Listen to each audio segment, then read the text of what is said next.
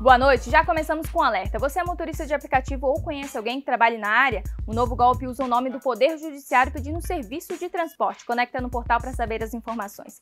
E olha esse flagra, um motorista dormindo ao volante em um semáforo da capital. O homem não fez o teste do bafômetro e foi multado. Terminando o resgate fofo e raro, uma toninha foi encontrada na Praia Grande, em São Francisco do Sul. O animal recebeu os cuidados e foi devolvido ao mar. Até amanhã.